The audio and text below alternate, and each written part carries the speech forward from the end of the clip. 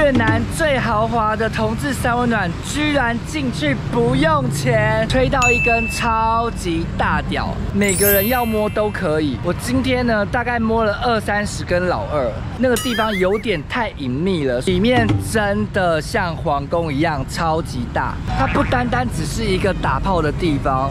大家，我是史达，现在来开箱越南最大的同志三温暖，它叫 Naden Spa，但我看到它招牌写。Aden Spa，所以我有点搞不懂到底是哪一间 SPA，但是大家跟我说是这间就对了，所以呢，我现在要进去了。他一个人是十九万五千印尼盾，就两百多块了，好吧，我现在要进去喽。好的，这里是一个停车场，你看，直走就是了。我觉得离市中心蛮远的，骑车过来差不多要十五到二十分钟左右。这里，噔噔，到了。这间三温暖超级屌，超级超级屌。首先呢，里面的人非常的多，而且我发现越南人长得真的大同小异耶，就差不多都是那种。有胸肌，然后腹肌不明显，然后身高不高的类型。然后呢，我今天呢大概摸了二三十根老二。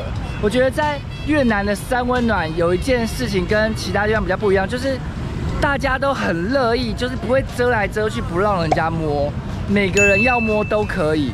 所以在里面大家就是真的是疯狂的，就是随便摸、随便抱、随便亲，他比较不太会去拒绝。大家的那种触摸，但不代表他对你有意思，他只是觉得 OK 要摸给你摸，但不是他想跟你打炮。我今天摸了很多人，他们都不想跟我打炮，很惨嘞。那我要形容一下里面的整个状况。我觉得首先，因为它其实有点难找，你用 Grab 叫车的话，其实很容易找不到。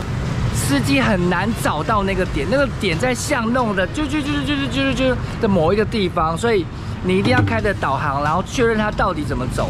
像今天司机就把我载到别的地方去，我原本已经要下车了，后来我发现哎，好像不是这里，然后看一下导航，哦干，还要再绕出去，然后再转弯再绕进去，干超难的。进去呢。有一件事情也非常特别，不用付钱。越南最豪华的同志三温暖，居然进去不用钱，太扯了！不是，不要开心的太早，呵呵，要付钱，但是最后付，因为那间同志三温暖啊，其实非常非常非常的大，我怀疑它是一个城堡，因为真的太大了，里面呢有。可以吃越南河粉，一碗三万越南盾，然后你可以呃喝饮料，但是因为它没有那种很科技的那种手环，可以用 BB 刷卡的，所以他们用登记的方式，然后在你最后结账的时候，你就是连同入场券一起付清。那入场券呢是二十万越南盾，其实就是它是一九五零零啦，我觉得就差不多就台币差不多两百五左右啦。这间同志三温暖的老板非常非常的用心。为什么我会这样说？因为通常这种色色的地方，他们基本上都很昏暗，那昏暗就不会有太多的设计。但是这间不一样，这间从进去到每一层楼都非常有巧思跟细节。他把很多越南当地的特色的一些东西融入在三温暖中，我觉得这是很不简单的事情。我一层一层的跟你们讲，真的这里太精彩，你们要不要先订阅频道，开小铃铛，追踪我的 IG STR 一零五，然后可以加入会员，加入会员呢可以听到更多我没有放上来的精彩花絮。里面呢，你要先进去以后，然后上楼，上楼才是。就是那个置物柜的地方，置物柜那栋楼上去呢，三楼的部分呢是那个温泉池跟淋浴的地方，四楼我超喜欢他们那个四楼，四楼是一个泡脚池，它是露天的那种顶楼的泡脚池，看得到星空的，然后它把它做成有点像是热带雨林的感觉，我跟你们说，里面。都是大型的那种植物，芭蕉叶，然后很大，比我还要大的那种芭蕉叶，然后那些植物全部都是真的，然后它把它做成像一个 U 字形的泡脚池，就是一个 U。然后中间呢也是一排大大的植物，然后非常的高，然后像一个隔间一样隔成两面。然后一边呢是冷水池，一边是热水的泡脚池。我觉得在那边非常享受，非常 c 因为真的超级像在热带雨林中。到一楼之后呢，有一个大厅，它弄得有点像夜店，但其实是餐厅。就是它就是一个交易的地方，然后有卖越南河粉的地方跟卖饮料的地方，然后他们也有提供免费的茶让你喝。往里面开始走，我跟你说。一楼就非常非常的精彩。一楼的里面呢，是室内的部分呢是健身房，然后外围有一个 L 型的部分是一个鱼池，然后那个鱼池有养鲤鱼，是真的有鱼在游泳。它那边还有八个荡秋千，就是户外的荡秋千，超级超级可爱。就会看到一堆裸男，然后在荡秋千上荡秋千，然后他那荡秋千。不是你们想的那种怂怂的荡秋千，是那种木头做的有质感的荡秋千。一楼的另外一边呢，算是蒸汽室吧，各种蒸汽室有三间，一个是比较热的那种蒸汽室，然后一个是盐灯室，然后另外一个是香氛蒸汽室。那边还有一个泡汤的地方，然后有那种按摩的那种水柱会这样冲下来。它在那个。呃，泡澡池的前面先做一个屏风吗？我不知道。然后其实你从外面看呢是看不太到里面的，你走进去呢就直接下水了。它其实中间能走的部分很少，所以它就是等于是用一个屏风，然后隔着那泡汤的池。我觉得可能是怕怕水会喷出来吧。然后最深处呢就是一个洗澡的地方，洗澡的地方正对面有一个热水池，超级昏暗。昏暗到爆炸，热水池小小的，有非常多人在里面，就是坐起来。二楼呢是我最喜欢的地方，它其实就是一个暗房区。它的暗房区呢是用那种红色的灯光，呃，有点像是软木塞那种纹路的木板间隔，然后隔成很多呃大大小小的隔间，没有床铺。我觉得很特别，是越南的这种同志桑拿都没有床铺，哎，床铺在哪？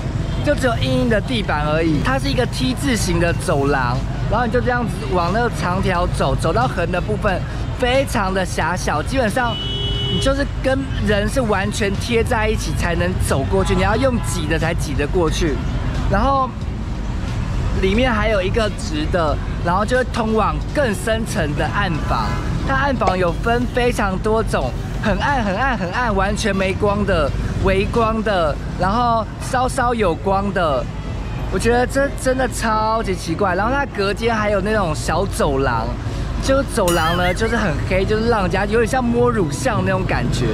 如果你很喜欢摸帅哥屌的，一定要来越南摸，因为真的没有人会阻止你摸屌。你如果要不让人家摸，他们还会生气说干嘛？为什么不能摸？三楼的部分呢是大暗房，就是没有红色微光的暗房。然后里面真的非常暗，但是通常这种暗暗的地方里面都没什么设计感。No No，它用了很多的帘子，那种呃会发出声音的那种窗，老式窗帘嘛，就一条一条有串珠的窗帘，然后做隔间。它还有那种有点粤式的那种小门槛，中间有一条走廊，然后隔成左边三间，右边三间，里面真的太暗了。我最讨厌这种暗迷蒙的地方，看不到脸的地方，我都不喜欢。所以我在里面待一阵子，我就赶快走掉了。因为就是都是越南人居多，越南人大概占百分之九十五 percent，有一些香港人，然后日本人、韩国人都是少数。然后今天大概打了爽了两次吧，一次是在呃蒸汽室里。吹到一根超级大屌，而且那个男的长得他妈有够帅，就是我的菜，浓眉，然后双眼皮，然后鼻子超挺，然后。呃，微微有点腹肌，然后偏瘦，有胸肌，然后腿超长，屌超粗。跟你们说，我现在已经大概知道越南人的越南屌长什么样。其实跟台湾的有点像，只是比台湾的屌再粗一些就是了。少数的偏长，但大部分都是这种差不多十五公分左右，然后很粗，而且他们粗呢是完全一直线的粗，就是没有说什么头尖尖的，下面宽宽的，不是。然后也没有像杏鲍菇，他们就是比例很完整的那种粗度，就有点像一根木头的那种粗度，头跟身体是一样宽的。我摸了好几个都是这样。然后吹了一个很帅的，然后跟有点欲擒故纵的男生，他超烦。他趁我进去呢，就开始看着我，就想说，哎，看着我是不是对我有意思？然后我就跟着他上去那个摸摸房。然后我摸他的时候，他感觉好像也没有很想要跟我有怎么样。然后我不摸的时候，他要靠近我，我想要他到底想怎么样？然后因为他可能是常客吧，所以里面每个人都认识他，然后每个人都要跟他打哈哈、抱抱、聊天，然后摸他鸡鸡。我就觉得很烦，一直被打扰，但最后呢，还是有就是进房间玩了一下就对了。我觉得这间真的蛮推荐的，就是算是我算是已经去过非常非常多的同志三温暖的人，我都还觉得惊讶。我觉得大家一定要亲临现场才可以了解我的那种震撼感。比较可惜的是，他今天九点呢就开始准备打烊，好像十点就关门了吧。但是九点基本上大家都鸟兽散。然后超难超难叫车，我在那边等车等了二十分钟，才有一台车愿意来接我。因为那真的算是蛮偏远的地方啦。交通费的部分好像差不多四五万越南盾吧，就差不多是五六十块了，还可以啦，比台湾搭计程车便宜多了。差不多就这样啦。那我觉得其实，在越南旅游还算安全啊，大家不用太紧张。今天我的频道，开小铃铛，然后可以追踪我的 IG S T R 一零五随手电环游世界的日常，然后记得加入会员，加入会员可以看到更多我没有分享出来的小故事，然后可以让我有更多的钱到世界各地帮你们开箱同志色情场所。那我们下次见啦，拜拜。Thank you so much, my lover。越南的三温暖都没有提供润滑液跟保险套，我不知道为什么哎，好奇怪哦，Why？但是因为我不不爱做衣领，所以我是无所谓啦。但那些做衣领的人怎么办？我就有点不知道。而且他们看起来都脏脏，但是身体都香香的。呵 呵我觉得他们真的是被那种当时欧洲统治的时候有一些些影响，所以都没有臭臭的味道。我觉得比泰国香多了。